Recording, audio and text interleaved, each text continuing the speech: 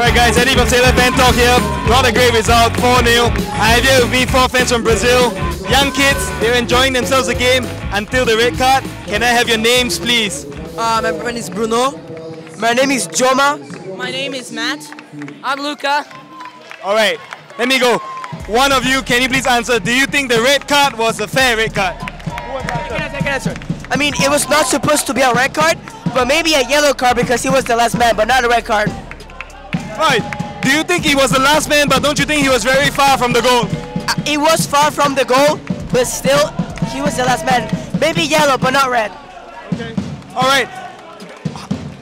Despite despite the result 4-0, the fans keep cheering. What do you think about that? The uh, the atmosphere is the atmosphere is incredible. Like the passion for this team is just incredible.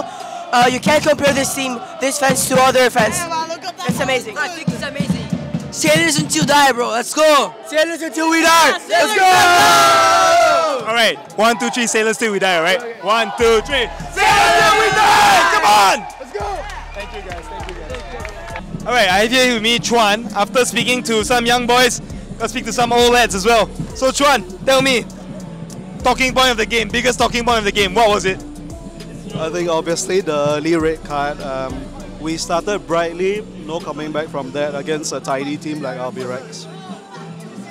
Was it a bad decision? How bad the decision was it? I think let's just say if I was this bad at my job, I'd be sacked. Yeah. On a scale of 1 to 10, right? On a scale of 1 to 10, what is the referee's IQ? I struggle to find the rating. It's not on the scale.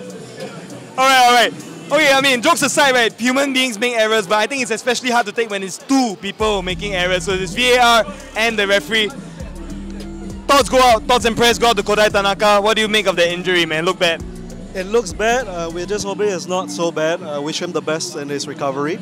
We wish him all the best. We just saw him on crutches. It's not looking good at all.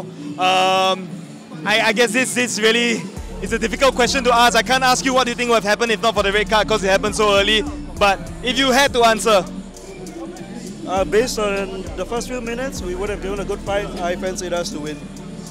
do you does it give you some some comfort, right? That the fans were singing even though we were 2 0, 3 0, 4 0 down.